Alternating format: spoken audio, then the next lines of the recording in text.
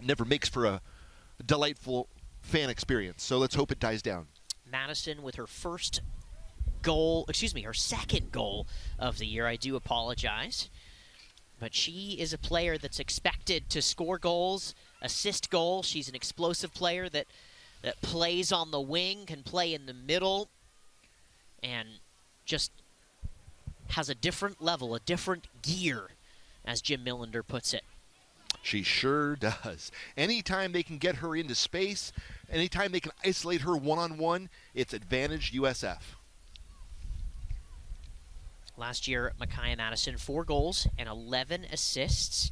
2017, five goals and just one assist, and in her freshman year, just two assists. I mean, looking at those stats, you wouldn't think that out of a forward to have, have more assists than goals, and maybe that spurs Jim Millinder to say, be a little bit more selfish, go for goal more often. But regardless, those stats are impressive.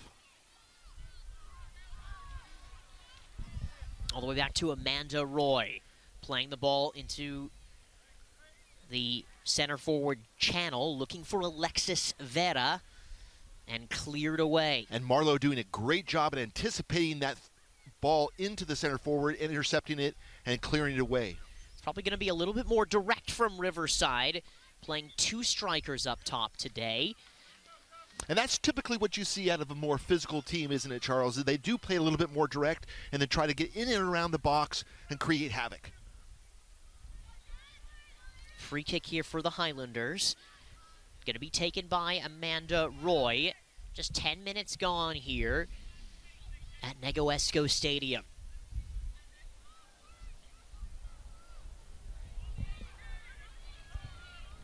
Defensive line's going to hold at the 18. Olivia Camera comes out to punch. She is the West Coast Conference Player of the Week. And that's what you get when you keep clean sheets. Two games in a row. Or am I, is it three games in a row? anyway, uh, well deserved and congratulations to Olivia. Yeah, two games in a row, a win against San Diego State and a win against Illinois last weekend. A 1 0 victory at San Diego State. Sydney Cooper with the goal. And a victory against Illinois. 3 0 in that match. Illinois, good opponent. They beat Pepperdine earlier in the year by three to by scoreline of three to two. So Pepperdine usually a perennial favorite in this conference. Tim Ward and his side will be down here later in the year for what will be a crucial West Coast Conference crunch match. But again, we talk about this year after year, and this is one of the most talented teams this USF Dons side that Jim Millinder has ever had now in his eighth year. Again, the statistic goes on. This USF women's side has never been to the NCAA tournament, and that's what Jim Millinder was brought here to do and you never know. It could be this season.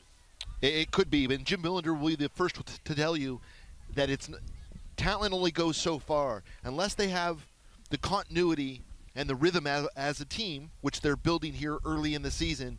You know that talent goes goes for naught. So they're really going to try to build something here. They ha- definitely have the talent from the back through the midfield and definitely up front. Let's see if they can put it all together. And it, like we said at the beginning of the broadcast, bring consistency to this season. Helene, he's settling the ball down. Long ball for Samantha Jennings. According to Jim Millinder, she's the fittest that she's ever been in a USF Dons shirt. And Samantha Jennings did exactly what she's supposed to do in that situation. She's supposed to flick the ball on.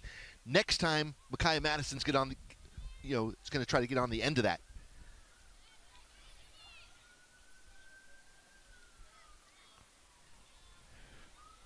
Here's Kalena Teufel. Again, a diagonal for Micaiah Madison. It's a great ball. Madison looks up first time. It's Samantha Jennings! San Francisco 2, UC Riverside nil. And if I'm the coach of USF, Jim Millinder, I'm going to say put those balls through either direction for Micaiah Madison. There is no stopping her. Samantha Jennings and Micaiah Madison have a combination that is uncanny. They are really, really a dynamic pair up front for USF. And here in the opening 12 minutes of the game, San Francisco with a 2 0 lead. Jim Millinder said he thinks it's going to be a little tight in this game. Riverside having a more, excuse me, a little bit of a difficult time kind of getting their legs in this early going. Here's Samantha Jennings. Is there more? Micaiah Madison. Still Micaiah Madison again! San Francisco 3, UC Riverside nil. Jennings to Madison for her second of the night. Back to back goals for San Francisco. And they lead now 3 0 in the first 13 minutes of the game. And that's exactly what USF is trying to do. They're trying to get that momentum and that combination play together, constantly getting better, and they are certainly doing it here early in the match tonight.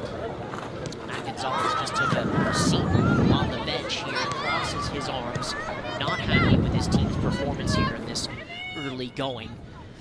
And right off of the kickoff from conceding, Riverside concede again.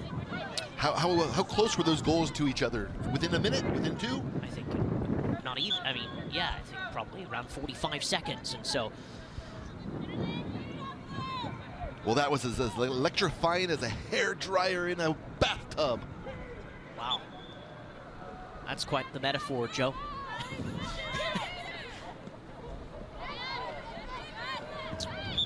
Nat Gonzalez saying they want to learn from every game and limit the mistakes. He says they'll be fine, though, once they get into the conference. But this opening 13 minutes for Riverside has really been rough. This is Helenihi, and now Madison again.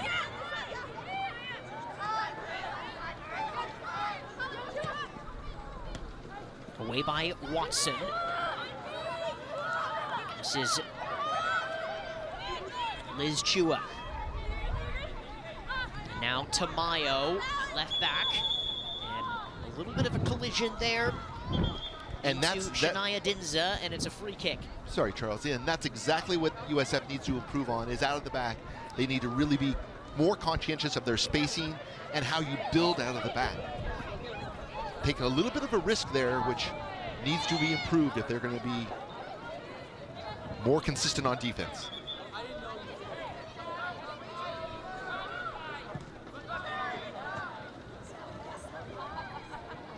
Ball served in, and Akari Shimizu gets her head to it.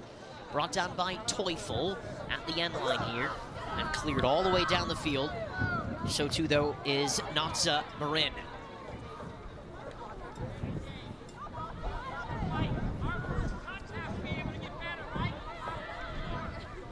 And you can hear Jim Millinder not letting down at all. He really wants to develop this rhythm. It's not about the opponent. It's really about what USF can do to become a better team.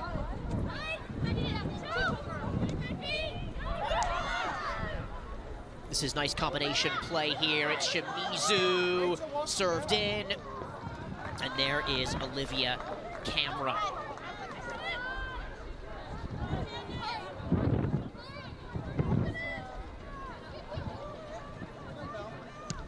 San Francisco has not scored in the first 15 minutes of any game so far this year in their three and one record. They've scored a lot of goals in the 15 through 30 minute mark. If you want to get real statistical here, this is from Matt Fontenot, who is the sports information director. But, well, well, it's interesting yeah. because coaches look at that and they look at patterns of play.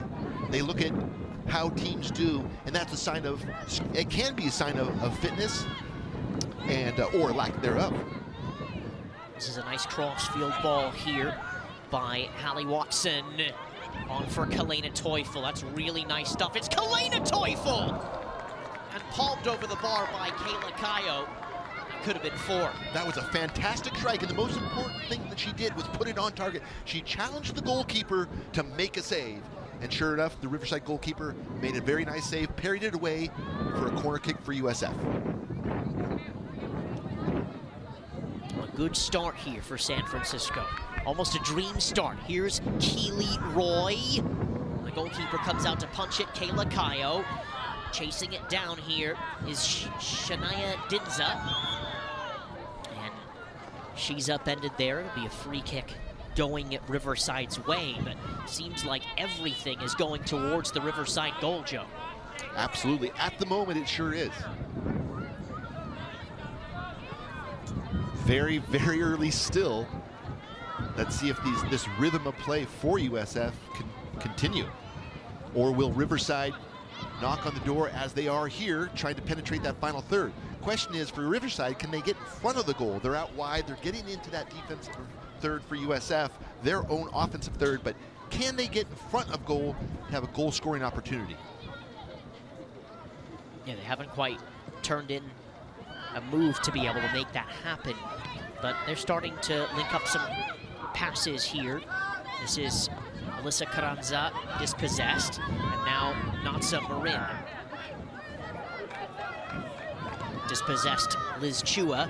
Here's Samantha Jennings. She has Kalena Teufel. That's good defending there by Aaliyah Feliciano, the freshman. Really nice build-up. I think Samantha Jennings will tell you that she just hit that ball a little bit too light for Teufel's speed. Teufel's got a lot of speed. Could have been a little bit further beyond the defender.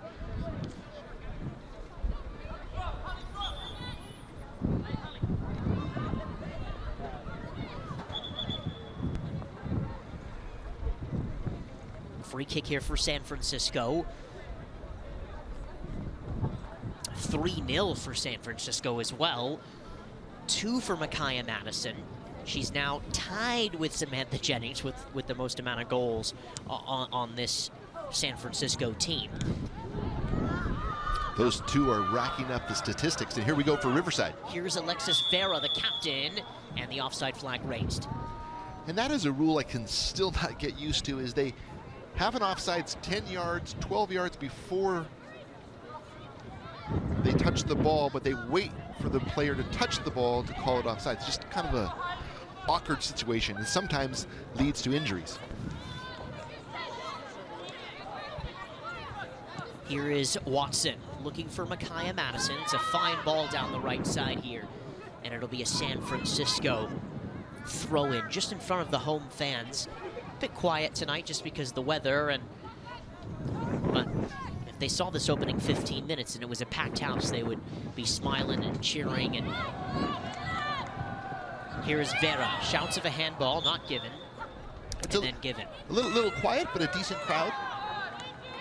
Decent crowd, and it continues to fill in. So nice to see people come out on a, on a weeknight and support local Division One soccer.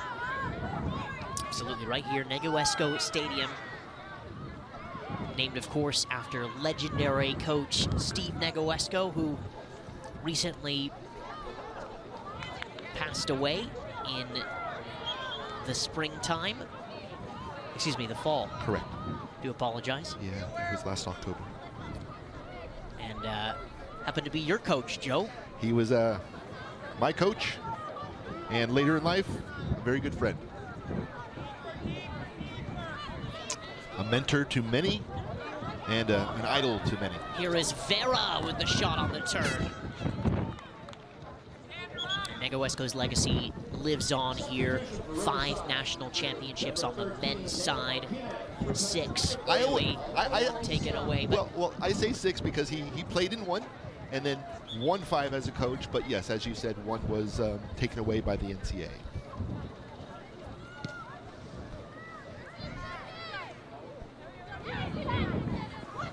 Here's Candice Hillegas. She keeps the ball in play here. Headed away by Liz Chua. Throw in for San Francisco. Couple substitutions for Riverside. For me, I'd really like to see Keely Roy get more involved in this game. She's a fantastic player. For those of you watching at home, number two on the USF Dons playing in the uh, attacking central midfield position. Highly recruited player out of Santa Rosa or Sebastopol, California. And she is a dynamic player, but uh, to me, she has not gotten the ball enough. I think the midfield and the fullbacks could look for her more, target her more, and then look for her to find Micaiah Madison or Samantha Jennings or Teufel out there on the left. Well, I don't think the conditions have been totally right for her either, with the wind kind of whipping in. Ball into the area. Hillegas tries to clear away. Marie Marlowe looks to clear, and Olivia Camera, again, the goalkeeper right there. Camera, there was some points where she wasn't going to be the number one goalkeeper, and then she solidified her place, the senior, from Virginia Beach. And I think she's doing the right thing there, finding her wide fullbacks. But uh, unfortunately for USF Dons, ball was not controlled before it went out of bounds. Couple of substitutions now. It looks like Jaden Tamayo off. And Nicole Kelsey gets her first minutes at right back. And she brings in a lot of experience playing uh, last couple years in that same right back position for the Dons. Looks like Hillegas has moved over to play left back as well. And a substitution here as well for Riverside.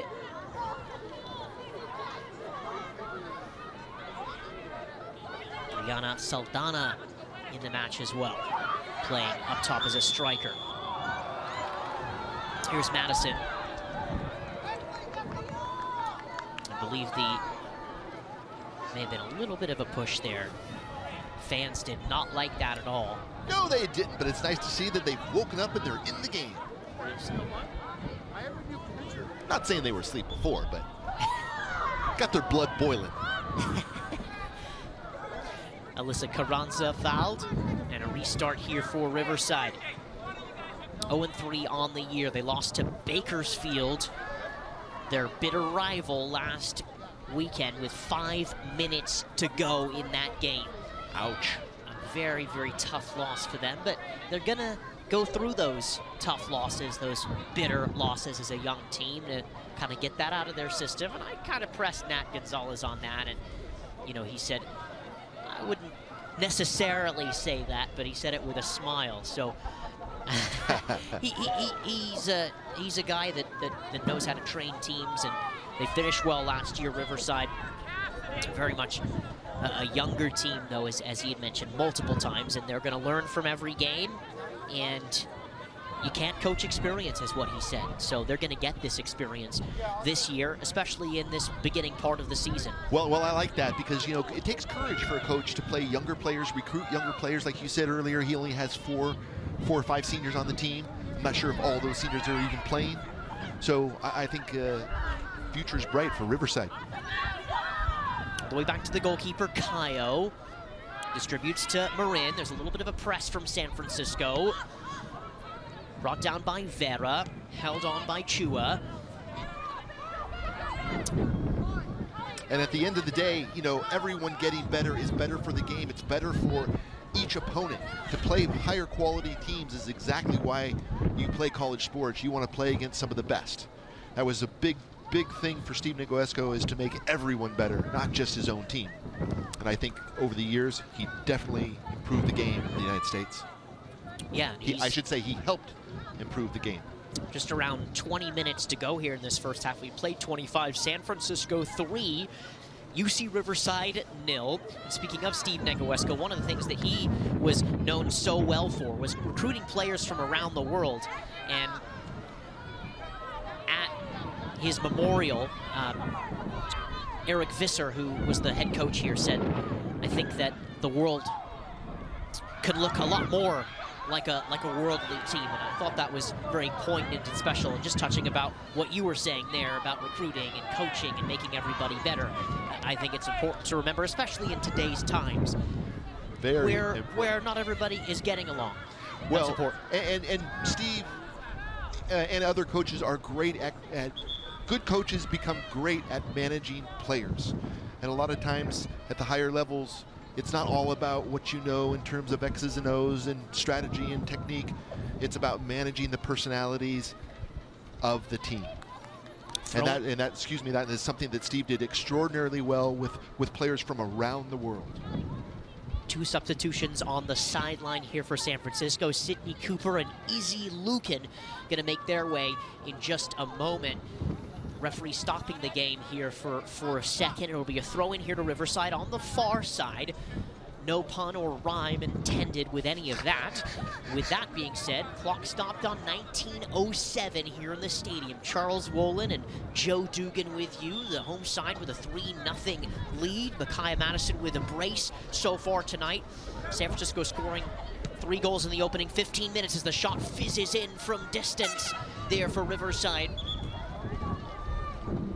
And here come the substitutions. So Izzy Lukin will take the place of Kalena Teufel, and Sydney Cooper will play up top. Cooper, who was knocking on the doorstep every single time uh, uh, last year. She probably thought it was Halloween. She, she was knocking on so many doors, um, but but not getting her reward. But so far, two goals on, on her plate this year. One, a penalty, and so she's kind of opened her account. And last year we had a lot of fun calling uh, her action because we were her two biggest fans, that she would break uh, break the barrier of that first goal. That didn't happen until this year, but good for her. She's a very hard worker, and each and every time she comes into the game, at least last year, she has an immediate effect on the game in a positive way. She really gets forward quite quickly and she's skilled too on the ball. She doesn't lose possession a lot. Very smart, intelligent player, able to work herself in spaces, distribute to her teammates, and be able to be found uh, at the end of the day. Well. What, what I particularly like about her is she can play with her back to the goal, or she can go straight on for the goal with the ball at her feet and attack, attack the defenders. Cleared away there by Watson as Riverside looks to switch the field. This is better play here from Riverside. What I like about Riverside is they're trying to play. Yes, they're down 3-0. They have not given up hope. They're still going to play the way they want to play and the way they eventually want to build out of the back through the midfield. You can tell they're trying to do the right things. So far, they're coming up short.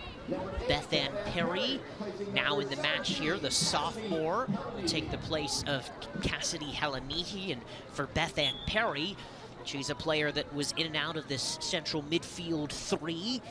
And She'll be given quite a few minutes here, but she's got to compete with the likes of the Keely Roys and Cassidy George and Helen Helenihi. Ball swerved in here, headed away. Top of the area, though. Still on here.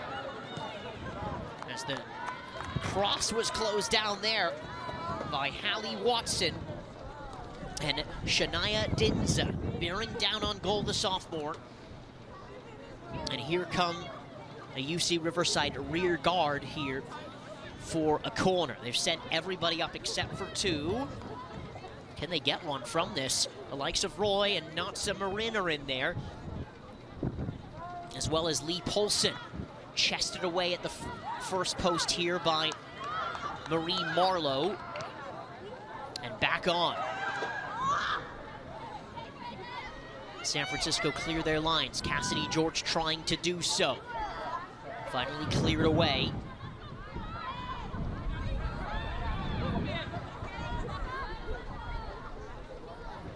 You can see USF backline has really improved as the game's gone on. You can see their line of defense is a good 40 yards out and they are right on those forwards when those balls come into the Riverside forwards, not allowing them to penetrate anything further so far than about 40 yards away from goal. That's really good defense. Substitution for Riverside. Number 20, Maria Gallardo for number 9, Vera. Number 18. Just around 15 minutes to go here. A couple of other substitutions for Riverside. Uh, Alexandra Hargrave now in the match, who actually scored a goal for Riverside last week. Only two goal scorers for Riverside. Two goals in their first three matches.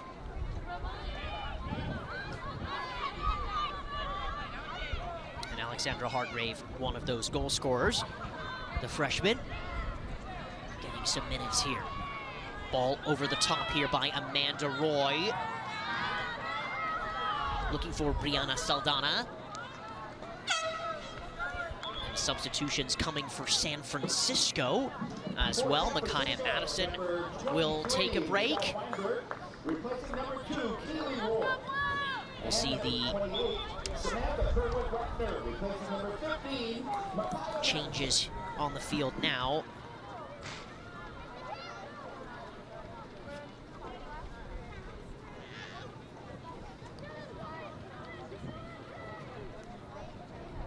Samantha Kerwood Wagner in the game, also a very exciting attacking player.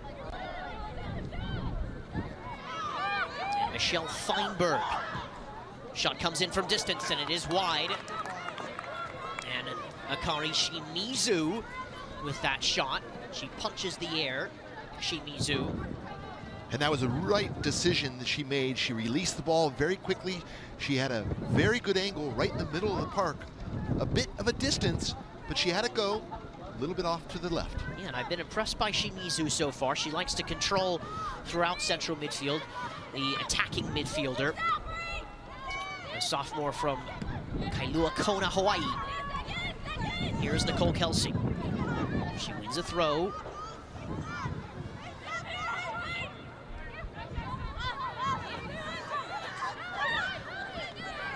Now Watson taking her time. Looking to find Kerwood Wagner. It's a second header. Cassidy George helps her out. Trying to win back possession.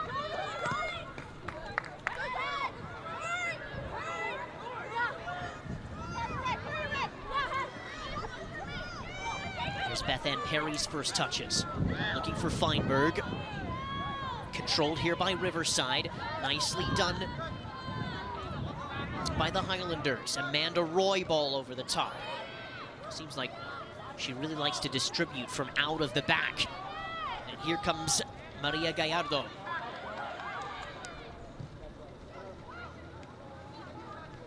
Plays really sporadic right now. No one really has a flow, not connecting a lot of passes.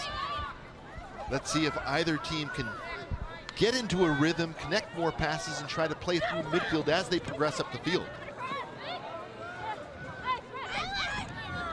Good work this. Hargrave. Good diagonal. On here, it's Gallardo. But first, it is Olivia Camera, West Coast Conference Player of the Week. And she had to be right on her toes to get that ball before the Riverside forward, just in the nick of time. Sydney Cooper, play on, says the referee. Still Sydney Cooper. She finds Kerwood Wagner.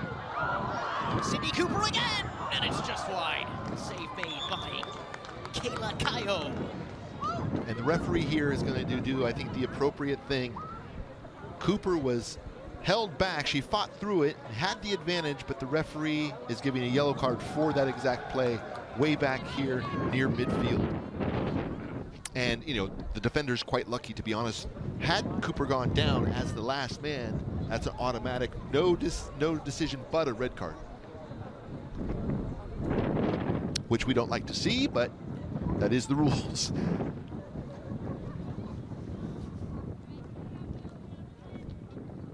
I had to throw in my referee. You know. Once a game. Once My a game. broadcast partner always talking about refereeing decisions, but Well, good that that, you've that- kept the cards in your pocket tonight. But that was complimentary. that was complimentary. Yeah. Don't get me going the other way. yeah, and he gave that yellow card after the play because why? They had There you Cindy go. Cooper had the advantage. She had the ball going towards goal. She was behind the defender. All the advantage was to USF. It would have been against USF's advantage had they called the, the play dead. Exactly. So that's why it's always given after the fact because of the advantage, especially even if USF scored on that build up there. Right. Here is Saldana. Here's Lukin now. Akane Shimizu. Good work this by Shania Dinza. Comes out here. The strike from just outside the area by Neda Martinez. And it's over the bar. And you can see the, the discontinuity of the back four going for balls way up the field when there's only 11 minutes left. The back four for USF needs to sit in a little bit, be a little bit more patient, not allow those through balls.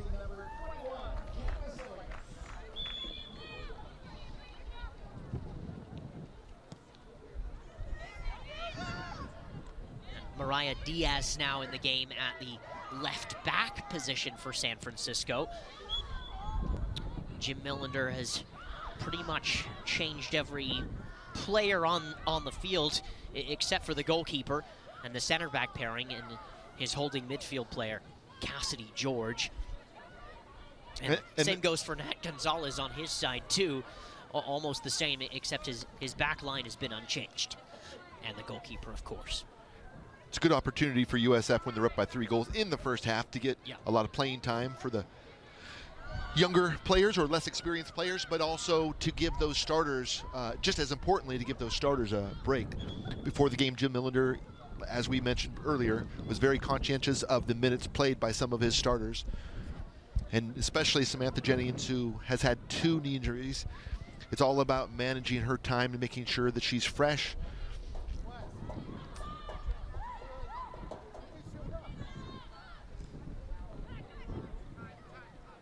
Chested down here by Neda Martinez.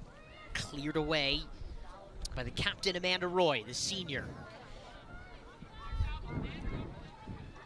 Here's Jennifer Barroso. She does well. Still Jennifer Barroso, upended. And Michelle Feinberg with some good tackling there in San Francisco. Just keen to play out of the back and taking their time. cleared away as Izzy Lukin comes in. And a free kick here against San Francisco.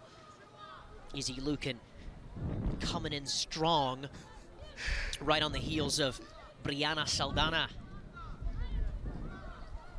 Who, mind you, probably has a bit of a knock on the top of her instep.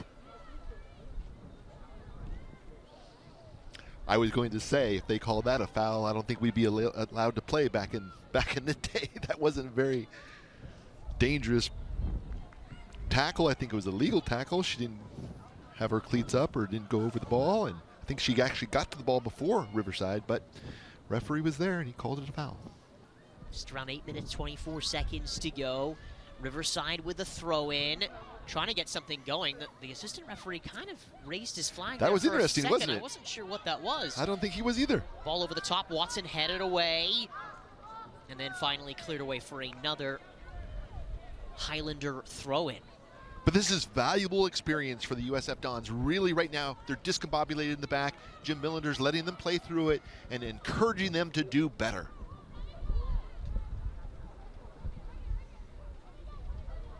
Another throw in. Goes over everyone's head, and Watson again right there. Collected by Maureen Marlowe. Out for a San Francisco throw in front of the old beer garden, which I'm not sure, it does it exist anymore? It does not, because they are selling alcoholic beverages or adult beverages behind the concession stands on the stands side of the pitch.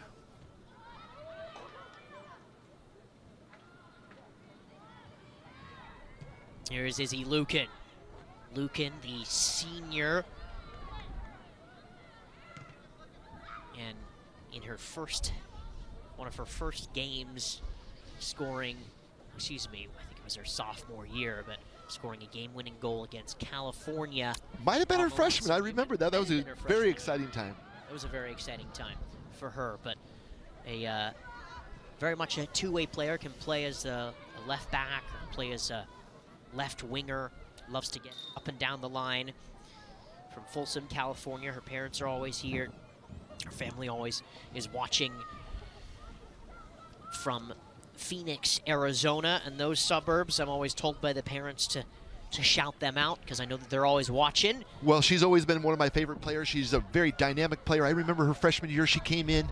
Uh, she was a forward by by nature, but she had uh, the team needed her at left back, and she did a fantastic job. And I believe it was her freshman year that she did get a goal and a game-winning goal.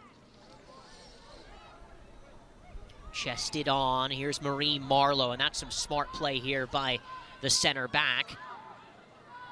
But as she realizes she doesn't have her goalkeeper on there, she turns away from the pressure and wins herself a throw. And that's that's the key Division One, the speed of play is much faster than these you know youth soccer players are used to. It's really the decision making that needs to speed up. She had the opportunity to play the goalkeeper for whatever reason. She didn't make that early decision, and then it was off. And if it's not done within a second or two, certainly in that position, it is not something you want to do.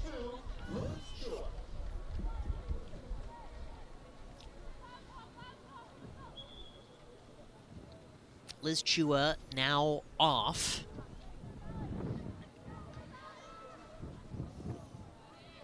And Jessica Tamayo now in the match. Here's Beth Ann Perry looking to switch the field to play Kerwood Wagner. Here's Nicole Kelsey, chested down here by Watson. She's been all over the place, Hallie Watson, in this first half. A center back. You notice lately when USF gets the ball into their middle third, into their midfield, they're in a race to get to the front. They need to calm down, play a little bit more wide before they go forward, contain, you know, possess the ball as they progressively go up the field. Chested on, and Olivia Camera is right there to make the save. Fantastic save.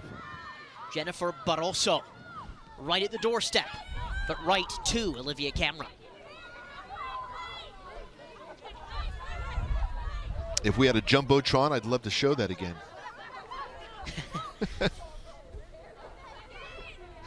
George for Cooper.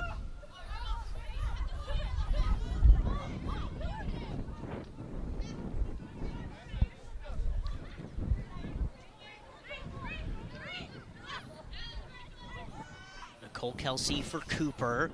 Looking for Beth Ann Perry and then cleared away. Here is Marie Marlowe, the sophomore, tasked with such a big role of playing center back, almost like a sweeper type of role here after playing really well at left back last season. And while she's not the most experienced center back, she does have a lot of speed, which makes up for any mistakes that may happen back there. So Jim Millinder feels very comfortable with Marie Marlowe.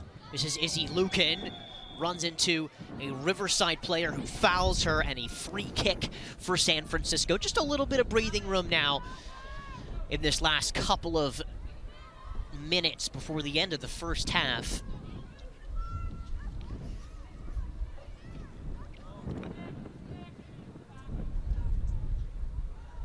Looks like Izzy Lukin will swing this to the back post.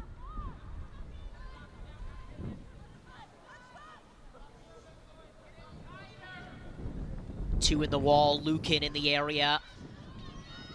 Into the area, rather. Here's Nicole Kelsey. She settles and plays Marlowe, who then in turn looking to switch the field. Kept in here by Kerwood Wagner. Now Beth Ann Perry lays back off here for Izzy Lukin. Lukin crosses the ball in wins the first corner for San Francisco in the first half with two minutes and 30 seconds to go. That was a really nice build-up by USF. You'd like to see them, again, do that more often. Playing through the central midfield out wide and then trying to get those crosses in really confuses and puts the uh, defense on their back heels.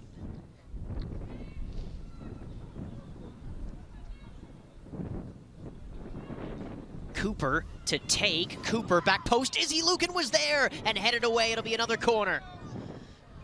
And Lukin Took a bit of a spill. And she's slow to get back up on her feet, and she does. The referee's going to stop the game for a second as the trainer runs out there with two minutes and five seconds on the clock. And I believe Lukin needs to come out of the game for a few minutes here for a concussion protocol, which is important and the referees have really been, uh, you know, trained really well on this. Anytime there is a head or potential head injury, they stop the game right away. And like you said, take the player off the field, make sure they're okay.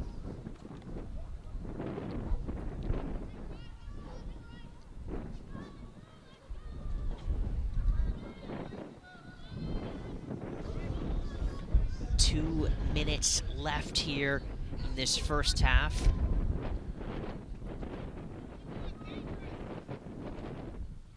Izzy Lukin taking a seat on the bench. Sydney Cooper into the area. Cassidy George was at the back post. As UC Riverside looks to clear. Really, really good corner by Cooper, putting the ball where the goalkeeper could not get it and put it in front of goal, the goal for an opportunity for her teammates to come on and potentially head the ball in. Unfortunately, they didn't get on the end of it, but again, very dangerous corner kick.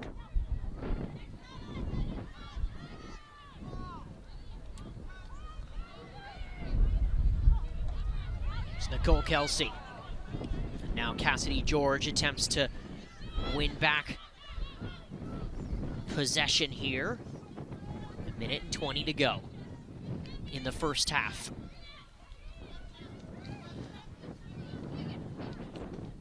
Long ball by Natsa Marin. Chested down by Marlowe. As she'll look to clear. The wind really whipping in here.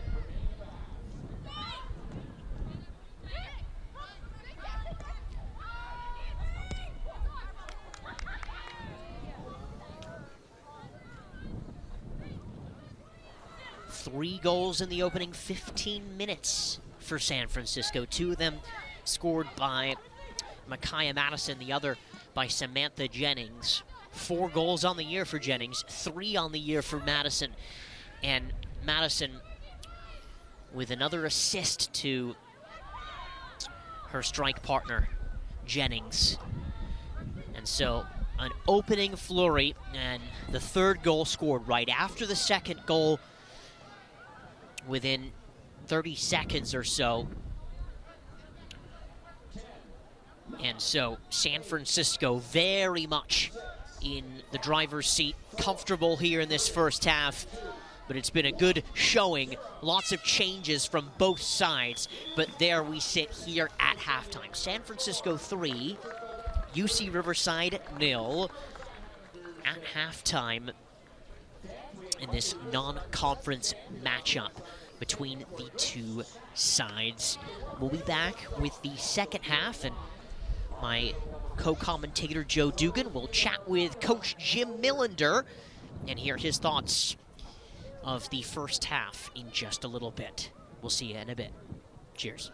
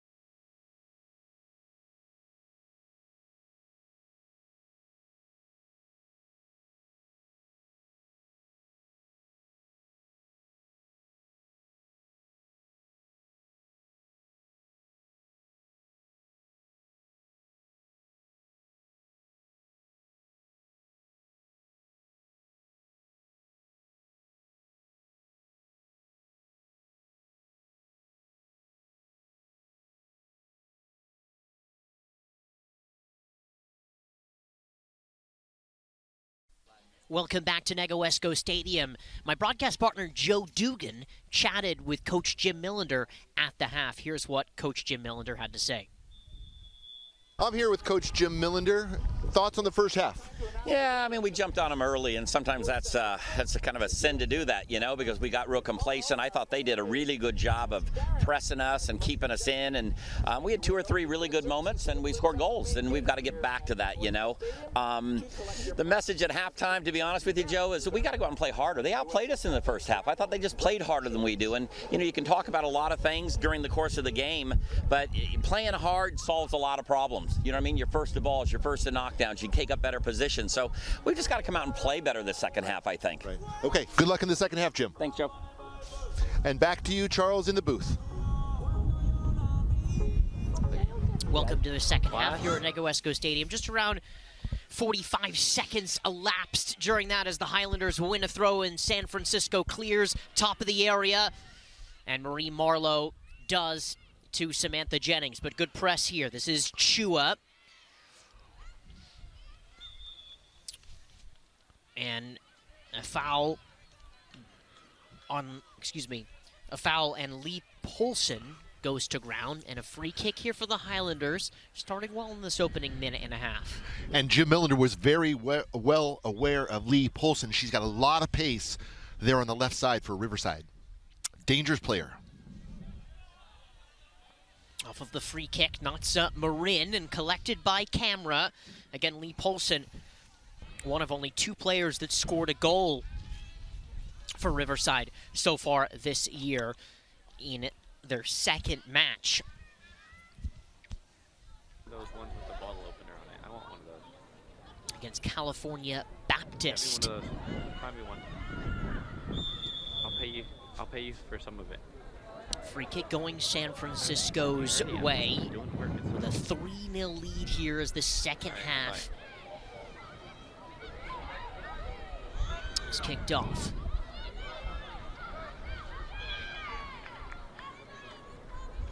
And as you heard from the interview at halftime with Jim Millinder, he was just imploring his team to really play harder. He didn't think they were coming to the ball first, getting to the ball first. He thought Riverside was as much into the game as they were, and you wouldn't know it by the score.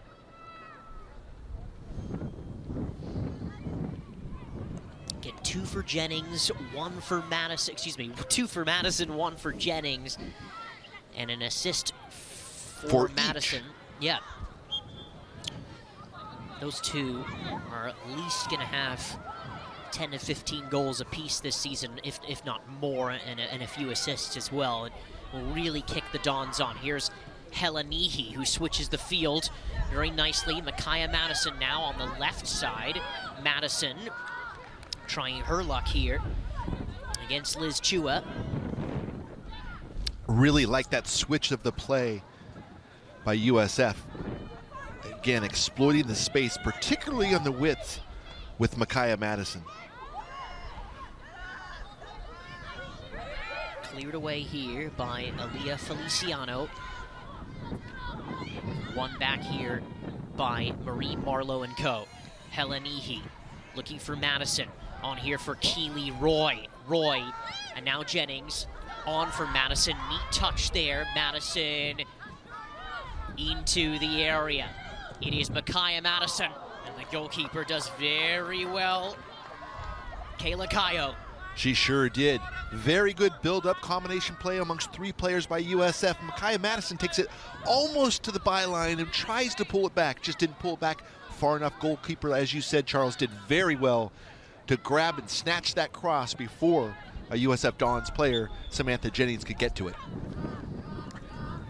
Still windy here at Negoesco Stadium. Feels like it's around 45 degrees, but it's probably just 55. but we've got our jackets on here upstairs in our bird's eye view. The, the uh, I don't know what we call it here, but um, The Sky Lounge. I usually call it the flight deck.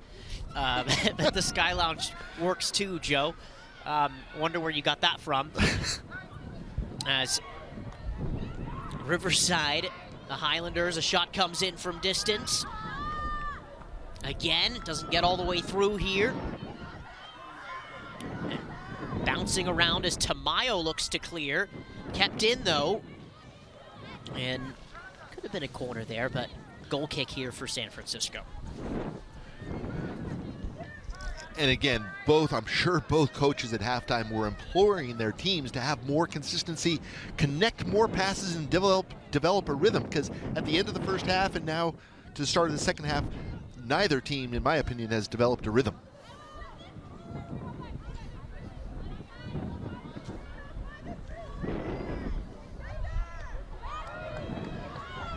And Riverside is is every bit physical as we heard they were going to be. They're they're not going away. They're challenging for every ball, whether it's in the air or on the ground. They're really putting a fight up here. It's been a good opening six minutes for them here in this second half, especially after a bit of the debacle and conceding within the first minute of the game. Well, they certainly came out the second half with the press, and you're right. They really want to get on top of USF, not allowing them USF to develop a rhythm. Because once USF gets in a rhythm and they start finding Micaiah Madison, and Samantha Jennings, they were a powerful duo up front. Again, for Nat Gonzalez's team, it's about getting experience. He's saying you can't teach experience. They are young, and they're going to learn every game. Switch of the field here by Helenihi again to Madison. Taken well here. She's got two to her name so far. Crowd wants a foul. Alyssa Kranza. Here's Jaden Tamayo, her cross. Really good looking cross by Tamayo. Brought back here by Jennings. It's a nice run. On for Micaiah Madison. Dribbling in space. Has got three, got four. Nice ball here for Kalena Teufel. They call her KK. Lays off. The cross here by Candice Hillegas.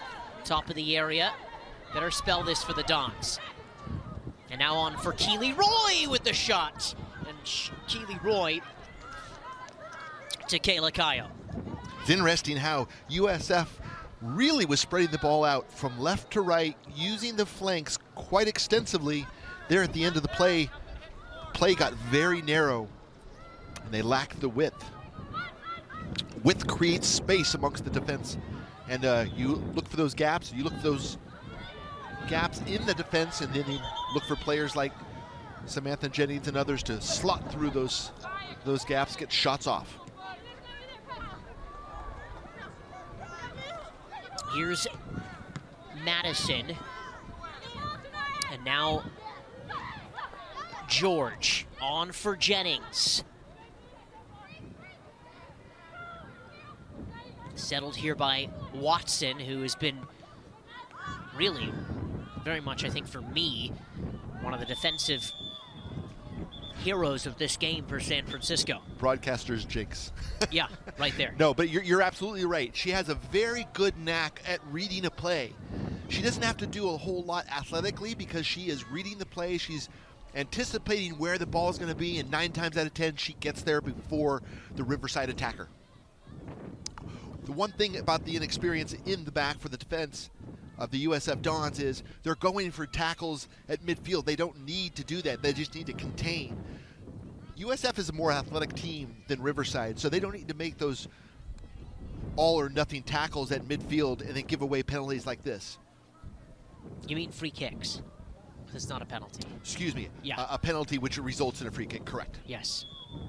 Thank you for the clarification, Charles. No problem, my partner. Here's Natsa Marin's ball. That one went wayward and headed on by Lee Polson for a goal kick. Eliz uh, Olivia Camera hasn't really been bothered in this game at all. Riverside still waiting for their first clear-cut opportunity, except for the header. Actually, let me take that back. Let me walk that back. Late, late, late in the first half. But again, hasn't really had much to do. Shania Dinza now. This is Dinza. She's laying off here for Alexis Vera. Another goal kick for San Francisco. The crowd thinking there was a foul there on Riverside. The referee let the play go. Goal kick for USF. I'd like to see USF play out of the back a little bit more than just playing so direct, but with these conditions in the wind, maybe it's a little bit more conservative, but maybe a little safer to play a little bit more direct. Micaiah Madison with her hands kind of outstretched asking for the ball. And kind of chatting with her teammates here, wearing the captain's armband today on her thigh. Mind you. She's got her arms crossed here. Ball swerved in here, headed away, and then eventually cleared away by Keely Roy. Riverside with a good run of play now. This is Shimizu. And now Liz Chua. Again cleared away by Marlowe, who's looking for Jennings. George. Jennings again. Can Madison keep it in? It's going to be a throw for Riverside.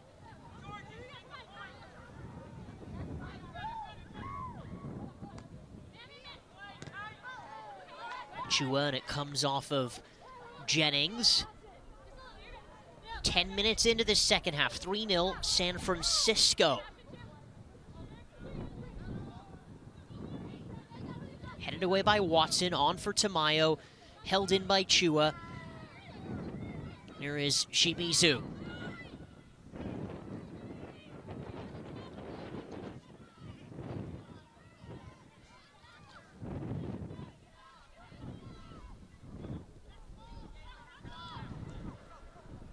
Long ball over the top, very, very direct by Natsa Marin. Now, can USF find the feet like this of midfield, build through the midfield up into the forwards? Looks like they're doing well so far. Here's Teufel. And now Jennings.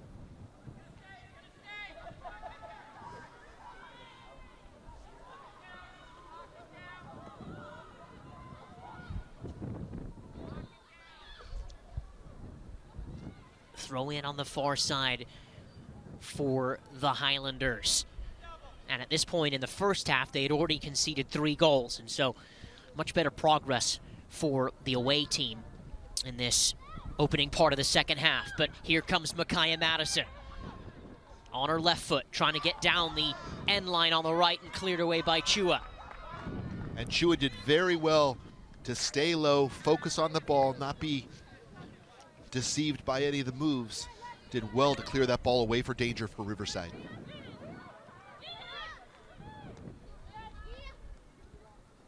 Here is Tamayo. And a throw in here for Riverside. Over the head of Marie Marlowe, she misjudges it. This is Alexis Vera and cleared away by none other than Hallie Watson. And experience will tell Marlowe next time there is no need to try to win that head ball 40 yards away from goal. She needs to step back and keep the ball in front of her. Outside back playing as a center back today. And she's the type of outside back that just loves to get up the field. And so I think that the intention is is probably there, but Absolutely. playing center back a little bit of a different discipline, if you will, my friend. Absolutely. And it is so exciting last year when she was a freshman coming on as a left back. You'd see her go from literally box to box. I mean, quite exciting. But again, she's filling in a role that's absolutely needed with uh, Cat Hill out with injury, filling in for the center back role. Doing a fine job so far. Anytime you have a clean sheet, you're doing a fine job so far. Here is the substitute, Neda Martinez, in the match now for Chua.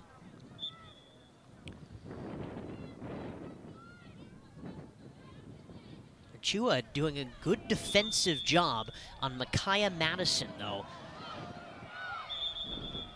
Referee stopping the play, may even give a yellow card here for some dissent. He's having a chat with Micaiah Madison. She's arguing with him. I mean, you have to let the kids play, let the players play. There wasn't much in that. There's no intent there. A few stoppages here in this second half, definitely more than the first. And this is going to be served in by Amanda Roy, the senior, the captain, the center back here for Riverside. Can they get one back? Would really do a lot for them. It's a free header at the back post, and it's just to the outside of Camera's post. Just outside. And as you saw that ball going into the box, you saw all the Riverside forwards or players attacking the ball, and a lot of the USF players just standing around. And that's exactly what you teach the players. You teach the players to attack the ball, don't let the ball attack you. Looked like Riverside wanted it more on that play than USF. Swerved in and over, over the bar there, but that was a nice driven corner, and it was curling towards the back post. If not, the wind probably aided it on to go over Camera's post there. A couple of threatening opportunities for the Highlanders. Absolutely, and like I said earlier, they're not going away. They they are not going to give up. They are pressing. They're a well-coached team. They might not have as much talent as USF, but they're not going away. Here's San Francisco on the goal kick. Kind of orchestrated here by a lot of the players. Here's Micaiah Madison now, well won by her, headed down to herself. Madison onto her right, now to her left. Micaiah Madison swerved in, and there's Kalena Teufel! San Francisco 4, UC Riverside nil. The route is on. KK, they call her. Kalena Teufel. Absolutely amazing run by, my, by Micaiah Madison. And that's exactly what she's improved on so much is she went to her left, faked to her right, went to her left, her weaker foot, made a fantastic cross, finding Teufel for the goal. Well, Kalena Teufel, she really likes to take defenders on 1v1. And she's going to get a lot of assists this year. She already has two and leads the team with two, but that is her first goal on the year in San Francisco. Four for them tonight. An impressive, impressive number in this opening hour, Joe. It sure is. And and this is the type of play that Jim Millinder and his coaching staff are asking the players to to play and play more consistently re, more consistently regardless of the score. There is Brianna Saldana looking to chase it down and goes over her head. And, and, and as you can see there, and back to the Highlanders just for a second, is Natsa Marin and Amanda Roy are trying to play the balls direct from the back to open up the space for the two strikers, Alexis Vera and Brianna Saldana. Saldana now after the game finishes. In the game for Vera, but it is a very, very direct by the two center backs, not trying to play through central midfield.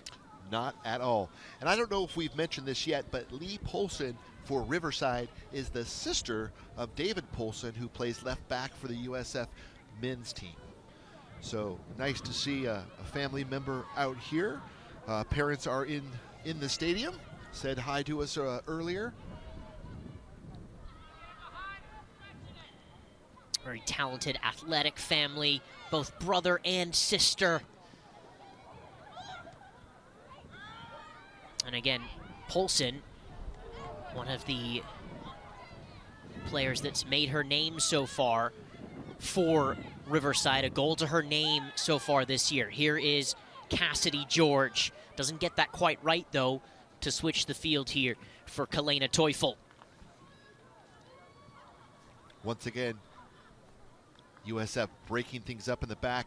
Well intercepted, anticipated run there in the back.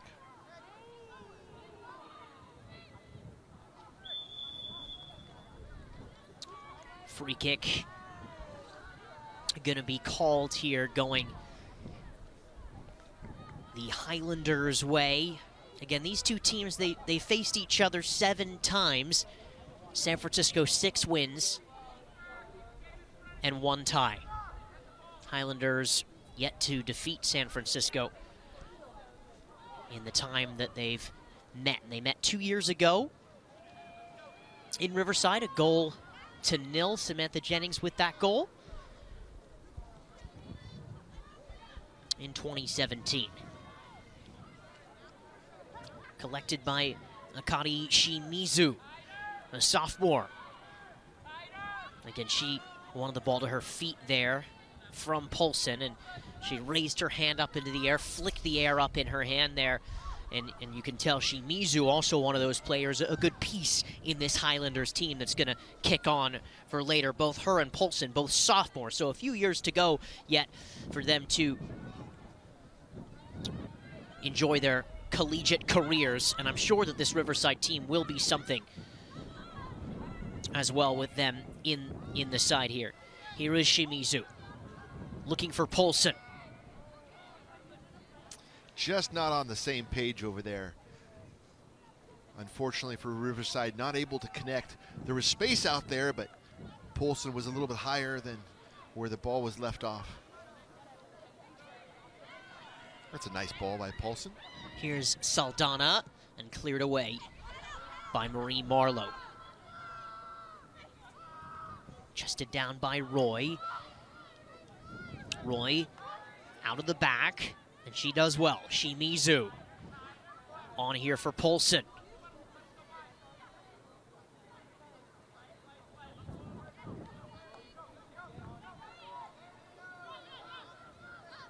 Jim Millinder can hear him from here, shouting "Go, go, go" to his central midfield. Right.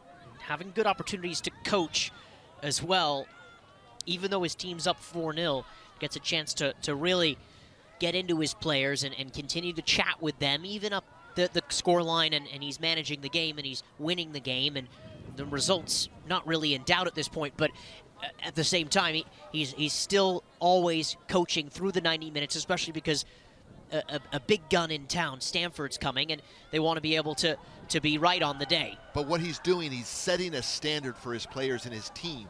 It's not, again, about who you're playing, it's about how you're playing as your team.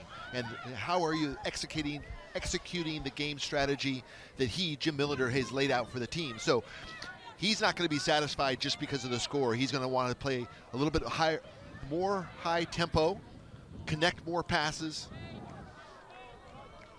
so that's what he's imploring his team to do. Roy with the foul on Polson. Free kick here for the Highlanders. Brought down by Carranza. All the way to the back line for Natsa Marin. Marlowe absolutely flattens Saldana going up for that header. Referee says play on. Here's Kalena Teufel, who just scored moments ago. Teufel. Looking for the run of Keeley Roy. The freshman in this team, Keeley Roy. I mean, in a really, a really simple way, Steve Negoesco always used to say to us, you know, he'd, he'd, he'd ask, you know, who are you playing next to? Okay, Charles and Joe are playing next to each other, he'd look at us at halftime and say, How many times have you connected passes? Two, three? Well, that's not good enough. It should be six, it should be seven, it should be eight. So, asking players to play together more often, put together more passes, connect more, make those players around you better. And that's certainly what Jim Millinder, you can hear him on the sidelines, you can hear him asking his players to keep involved regardless of the score. Win each ball and connect more passes. Just around 23 minutes to go. San Francisco 4. UC Riverside nil. It's been a better half for Riverside after succumbing to three goals in the first 13 minutes of the game. Haven't bothered camera too much, but winning a couple of important free kicks, being physical, being in the Don's way. Now here comes Micaiah Madison. Is there more for her and San Francisco? Micaiah Madison still. It's Micaiah Madison and cleared away and by Riverside. Another really good run, and I like where she placed that ball. There just unfortunately wasn't any Dons there to get on the end of it.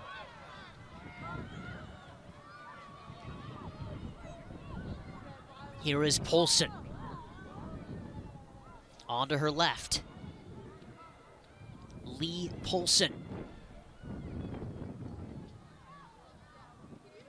Sister of David Polson, senior on the USF men's side. Again, the family in town, as you had said, Joe. They're looking for her on that wing.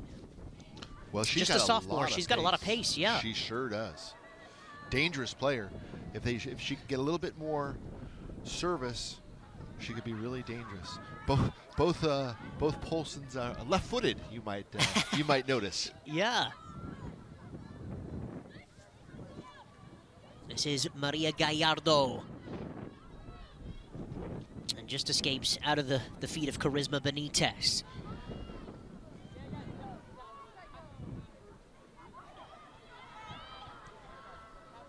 Natsa Marin clears away both Marin and Roy. Again, those two, the senior and the sophomore, again, trying to play balls over the top to Benitez or Vera or Polson, or rather Saldana. And- And West Riverside team getting it a little bit better in the second half. Nothing to show for it just yet. And, and Nat Gonzalez saying, again, to, to, to us earlier before the game started when we interviewed him, can't teach experience. They're young. And he was very honest about that. Here is Samantha Jennings. And Kaio, again, right there, low and on the ground. And as as young players, as a coach trying to teach these young players, you know, I'm sure he's looking for good experiences, not just any experience. So it's important that they try to play the way he wants to play and not just over the top all the time because, you know, experiences like that, I don't know what they're going to do for you if that's not the way they are going to play in the future.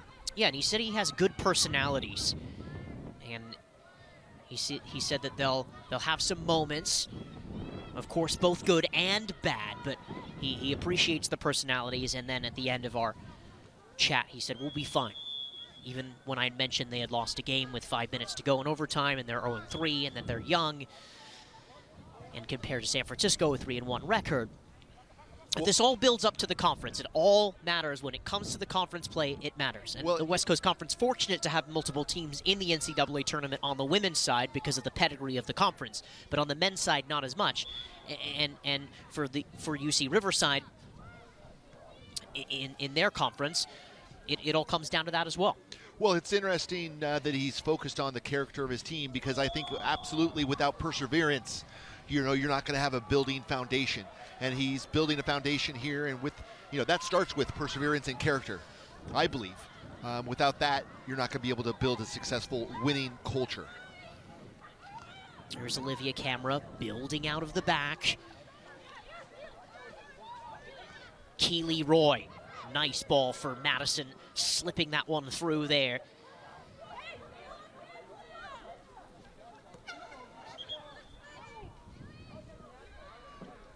It's like Keely Roy will take a little break here. Keely Roy, Jennings, Kalena Teufel, all withdrawn. And I'd be surprised if uh, Samantha Jennings or Micaiah Madison come back into this game. Unless things change drastically, I would say that they uh, may be done for the evening. Big game on Sunday. I'm sure Jeff, uh, Jim Millinder will and staff would like to have those players, his his leaders, as fresh as possible. Yeah, San Francisco hosting Stanford on Sunday. Stanford 19 0 against San Francisco. Ouch. But you know, if this is a really good game in the sense that USF did not look past Riverside. Um, this was a game that I think they could have easily looked past them and looked looked forward to Stanford. And, and so uh, this is a really good result that Jim Millinder and his staff should be really proud of. Yeah, last And, and it's not over. Don't get me wrong. It, it's far from over. But so far, um, it's been a very good performance uh, by the USF Dons. Just under 20 minutes to go here at Negoesco Stadium. San Francisco hosting UC Riverside from the Big West. They have a conference tournament every year. They made the tournament the last couple of years. And again, as Nat Gonzalez said, it all kind of comes down to that. But again, three goals conceded in the opening 13 minutes. Kind of the storyline here, back to back goals that were scored. A goal scored in the first minute of this game. Referee stops play here.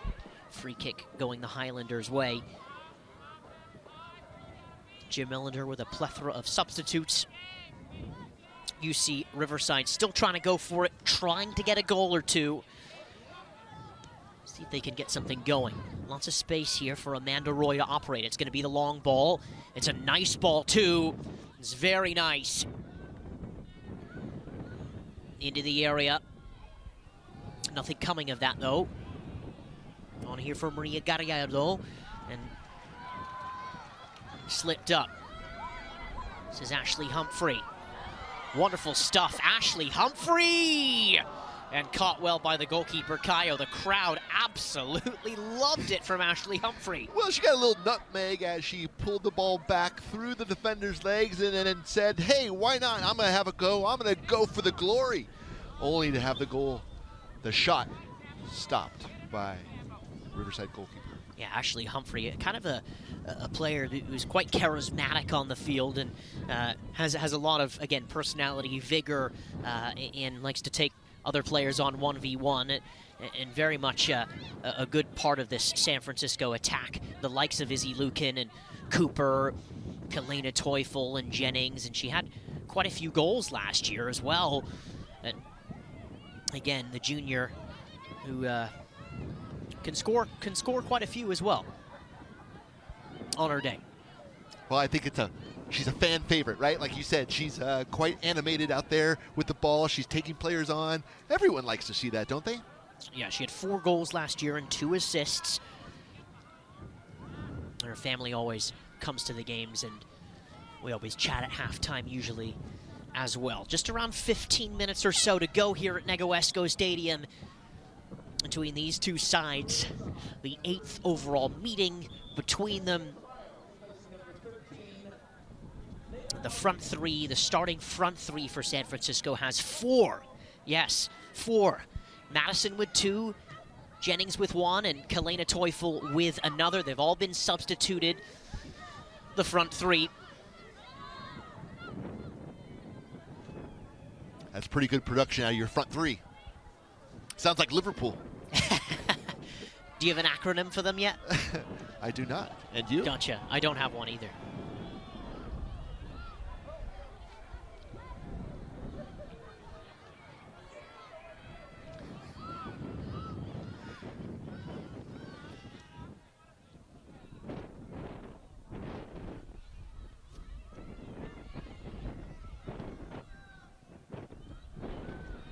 Here's Riverside. Doing well in the corner. It's Charisma Benitez. Can she win a corner? And, and she's not able to here. Another goal kick. Another substitution.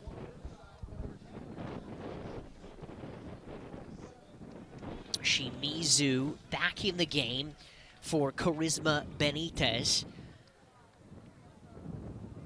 And now Gonzalez pushing Alexandra Hargrave further up the field. Again, Hargrave, one of the other players who scored a goal besides Polson this year for UC Riverside.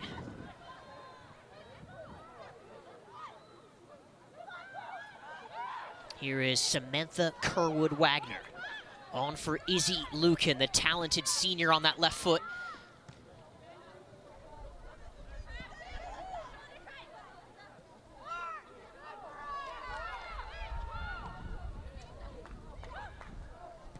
Sydney Cooper looking to win it.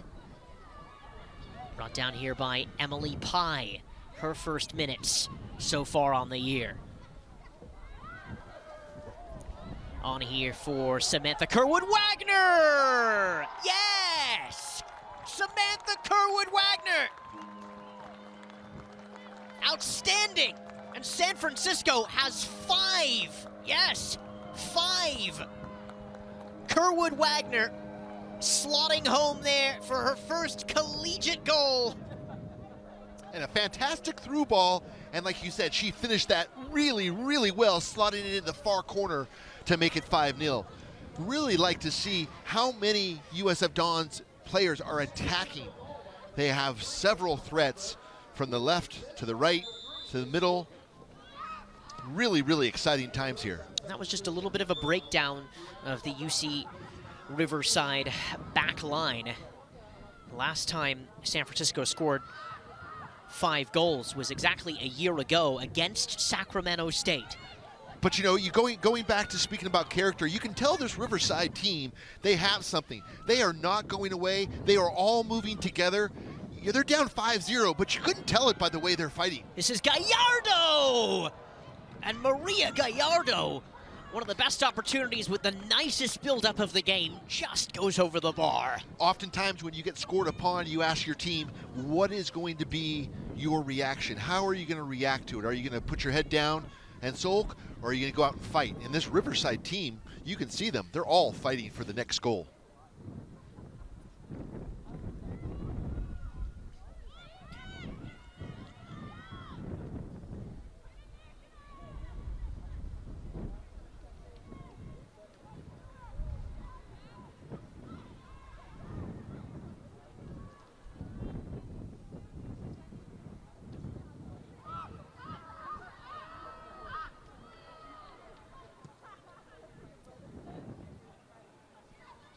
Well, they haven't been here at Negoesco Stadium since last November, Joe, but they certainly like playing at home. Five tonight.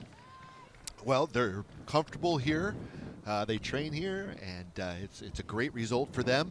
Question is now, how are they going to rebound, and how are they going to react when Stanford comes to town? Stanford being one of the top programs year over year over year in the women's uh, national rankings. I know that Stanford plays USF. USF plays Stanford every single spring, um, and so it's always always a good test to say the least. Yeah, pretty much got the whole month of September to to warm up, to eke their way into West Coast Conference play, and then when it comes down to that, it's nine games in the West Coast Conference slate that are really going to dictate everything here for this San Francisco team. And again, four home games to go here at home.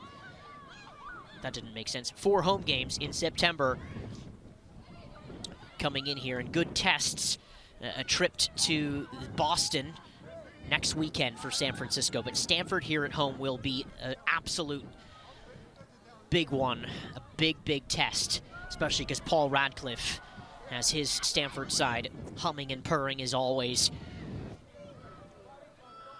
Here is Sydney Cooper on for Izzy Lukin. Lukin, a couple of step overs. Izzy Lukin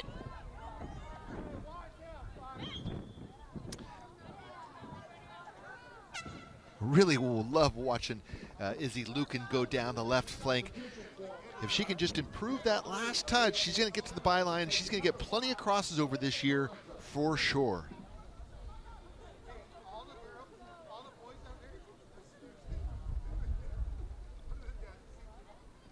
Stanford winning the NCAA tournament championship in 2017. They were in the semifinals last year as well. And so they have that pedigree, as you had said, Joe. Not too many times do the men and women at the same school win the national championship in the same sport. What a thrill for Stanford. What an accomplishment.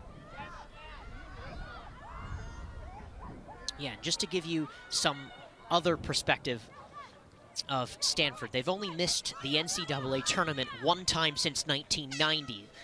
It was 97 that they last missed the tournament, which was 22 years ago. And so that's a pretty impre impressive so record. 20, 29 times in 30 years? Yeah. Not too bad. Not bad at all. There's a standard to live up to. And San Francisco would like to, to replicate that. Again, back to the conversation of NCAA tournament, the reason why Jim Millinder was brought in here, the pedigree that he has coaching the likes of USC and LMU. And I had the chance to sit down with him earlier before the season started in a new little series that we're doing called Inside Perspective and chatting about his USC times and USC days. And he gets it. He knows what it takes to get into this tournament. And I know he's come close in 2015, and, and last year he had a good squad as well, and that was the second best year that he's been here. But in this eighth season,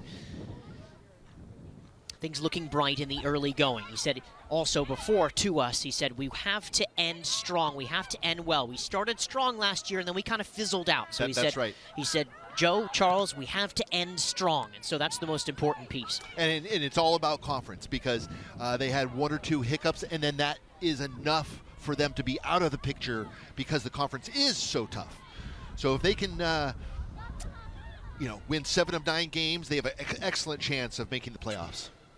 And just around eight minutes to go here at Negoesco Stadium. Charles Wool, Joe Dugan in our first broadcast of many this year. Here on the women's side, nine home games for the women, seven on the men's side as well. We'll be right back here on Sunday for you. San Francisco versus Stanford. Last year, 5 1 in favor of Stanford as well. So, Stanford used to playing on the plush grass over there in Stanford. It'll be a different game on this fast, slick turf. So it should be interesting. Here is Izzy Lukin, closed down by Aliyah Feliciano and cleared away by Amanda Roy.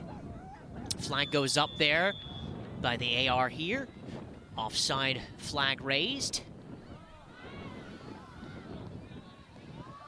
For a second, Riverside pushed up their players and thought they had won a free kick as well. That's right. And the assistant referee just gently showed the main official what was up. Here's Izzy Lukin.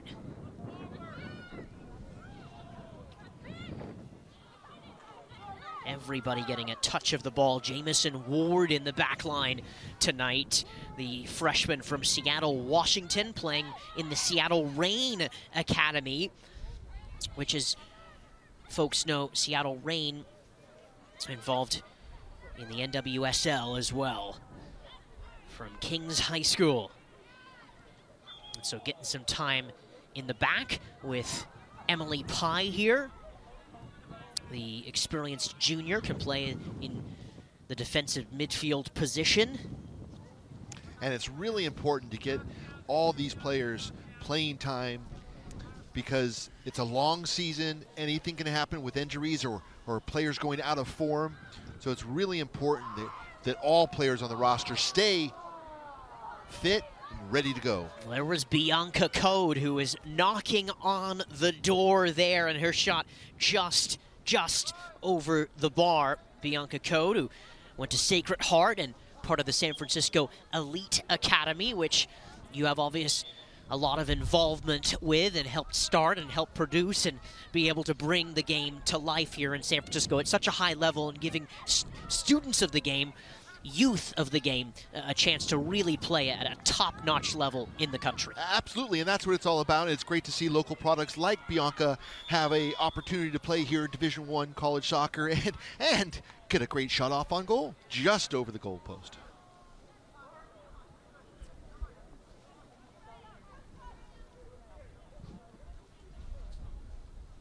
Just around five minutes to go now at Negoesco Stadium. 85th minute, San Francisco 5, UC Riverside nil. Is there more?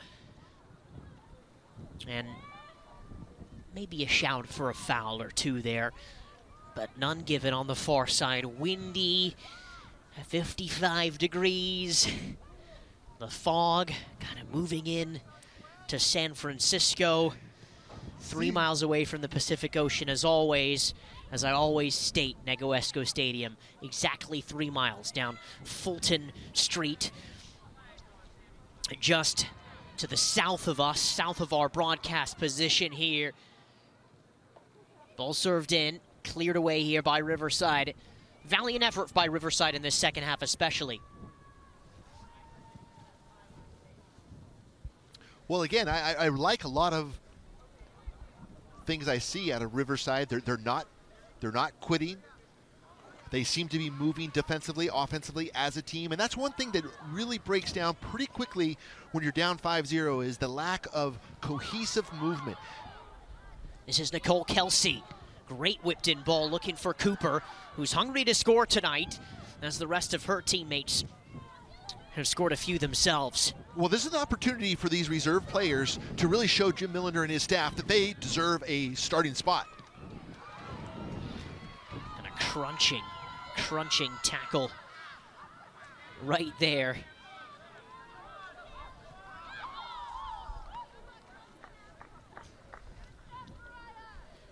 Tackle by Mariah Diaz, the freshman from San Mateo playing at that left back position.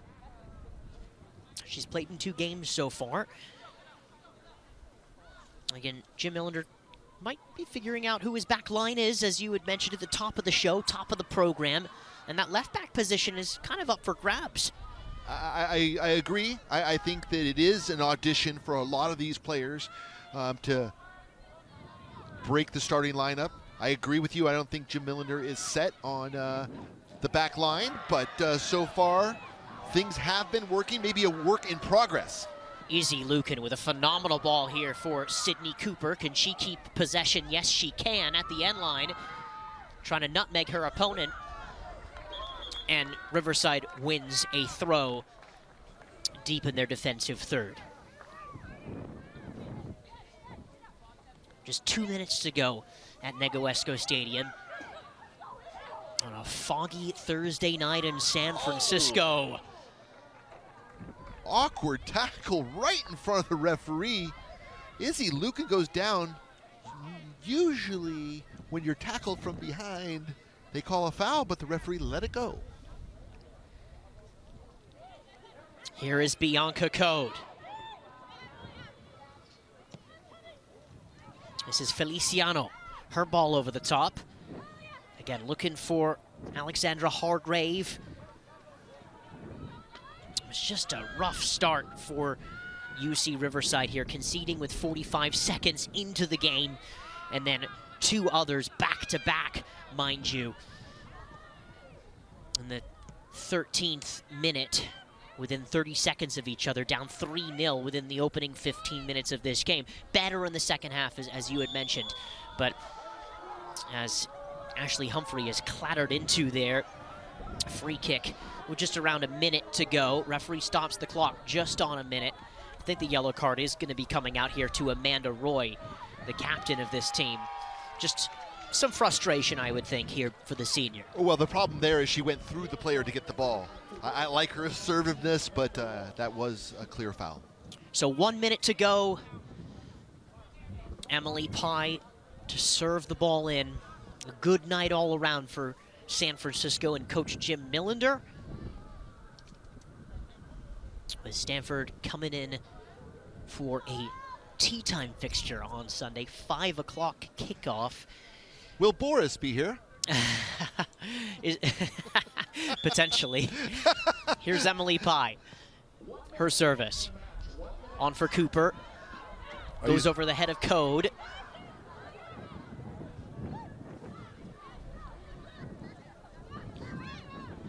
And now Izzy Lukin.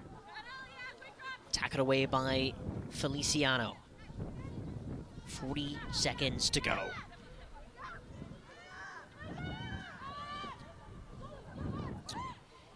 Here is Mariah Diaz.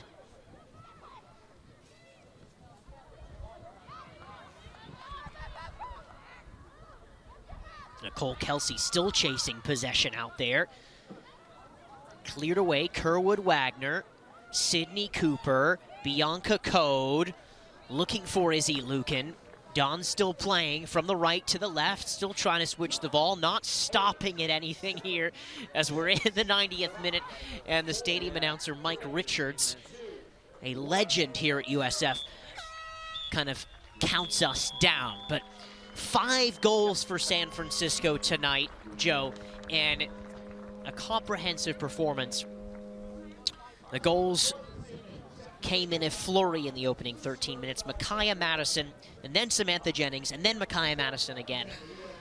And then in the second half, it was Kalena Teufel from Micaiah Madison. And then a, another goal by Samantha Kerwood Wagner right here at Negoesco Stadium. A game that San Francisco probably is happy about for their confidence going into a Stanford matchup, but definitely going to be a very, very different match on Sunday compared to tonight. Riverside, they fought, they huffed, they puffed, and they got their act together in the second half. No goals to show for it yet. But again, Nat Gonzalez, a young team for him. And they're going to go through these ups and these downs in this. But for but tonight, five five goals, Joe. It's going to be a much different game uh, on Sunday, but in terms of the recap for tonight, I thought it was a good performance. Like I said, um, they knew Riverside was going to be physical. Uh, they weren't going to be the most uh, technical team, but I thought USF did a very good job not to overlook them and, and put them away pretty soundly. Now on to Stanford. Stanford's going to be a much different game. They're going to put together five, six, seven, ten passes. They're going to be technical. They're going to be much faster. The speed of play is going to be top notch. And this is what USF is going to be uh, very, very much challenged with is keeping up with that speed of play, uh, particularly in the back back line for USF. Yeah, certainly. So our next broadcast is going to be at 5 o'clock on Sunday, right here in San Francisco, as the San Francisco Dons host the Stanford Cardinal. It's going to be quite a matchup for the ages. I know San Francisco wants to continue to make a name for themselves. As Nat Gonzalez told us earlier tonight, it's a journey, and certainly it is. It's a journey. This interesting, very condensed soccer season in the fall. I know we've advocated for a longer season, but it is a journey, game after game, one game at a time. I'd like to thank everybody who's been brought of our broadcast tonight, all of our camera operators, our producer Woon Wen, and the rest of our team. Appreciate you for tuning in and helping to grow the game of soccer in our country. That's what this is all about growing the game in your own backyard, watching the game in your own backyard at the highest level that you can, and supporting it and supporting student athletes at the same time. For Joe Dugan, my name is Charles Wolin. Again, from the wonderful city by the bay, San Francisco, California, the 7x7 the University of San Francisco's Negoesco Stadium. Stadium. It is San Francisco 5, UC Riverside nil. We'll see you next time. Have a great night.